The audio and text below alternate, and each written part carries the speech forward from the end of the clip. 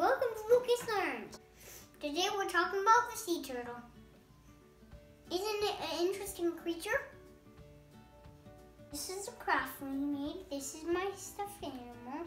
And this is the diagram we made of a loggerhead sea turtle.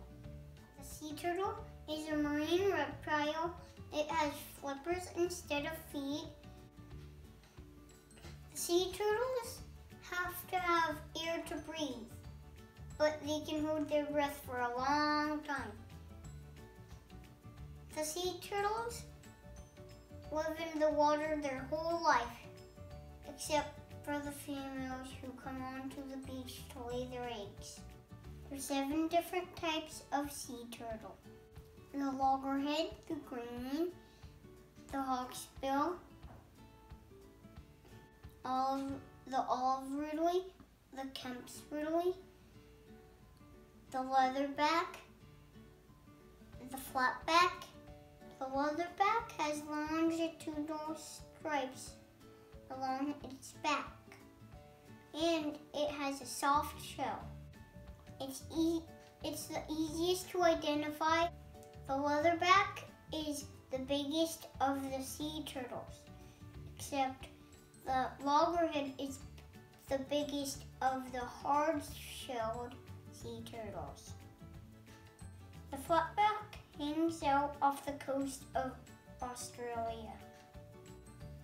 The green sea turtle is mostly vegetarian, but sometimes it eats jellyfish. A loggerhead can get the length of 35 inches. It can weigh 250 to 300 pounds. There has been a loggerhead spotted that's a thousand pounds. The loggerhead got its name because people thought its head looked like a log floating in the water. The loggerhead has a big head and, and the biggest head of all the sea turtles. The loggerhead is a carnivore. It, it lives in every sea except for the most frigid seas. It has a really strong jaw. It eats jellyfish, crab, and other shellfish, fish, and sometimes seaweed. The way that you tell sea turtles apart is because their shell. It's called a carapace. Each sea turtle has a unique pattern on their carapace. Each one of these shapes on a sea turtle's carapace is called a scute, just like scoot on a scooter. Let's take a look at this drawing. These are the vertebral scutes, just like vertebrae these are the costal scutes. The costal scutes have a matching pair on each side of the vertebral scutes. The scutes around the perimeter are called the marginal scutes. But the one, this one right here The nuchal scute is right next to the middle of the neck.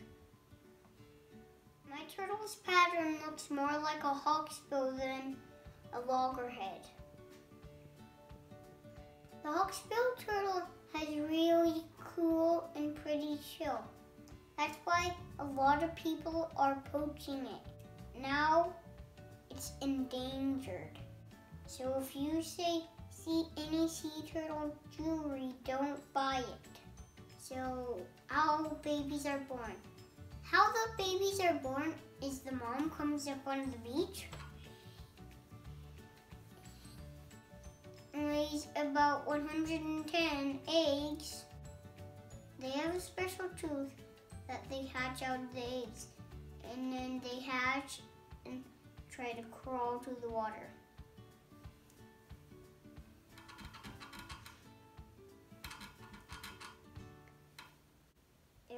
Survival rate isn't very good. What's threatening the lives of sea turtles? Poaching boat propellers, um, building up a house or a city where they have nests, shrimp trawling, nets, and other animals. So that's it about sea turtles. I think they're awesome.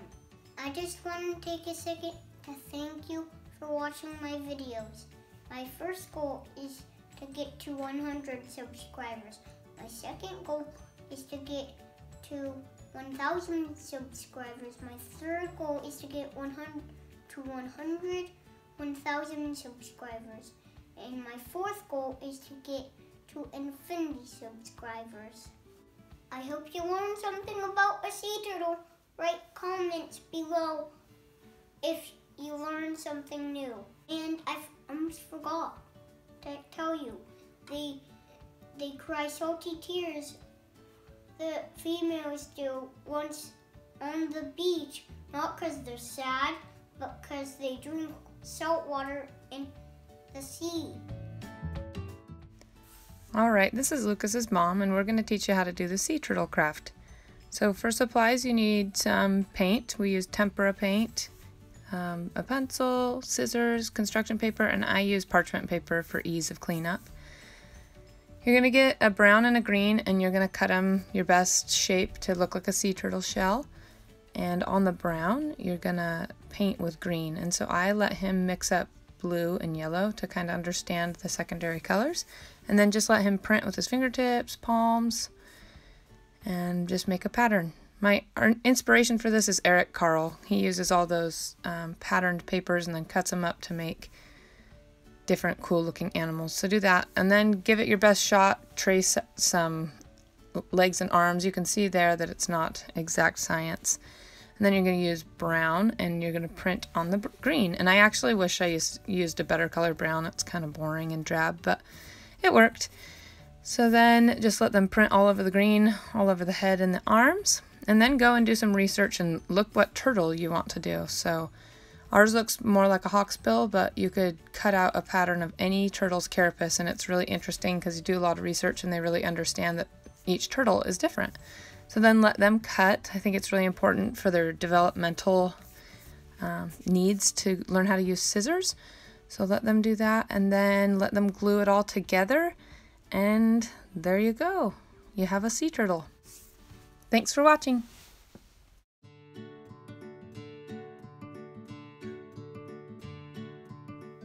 Give it a thumbs up and make sure to subscribe and share. Bye.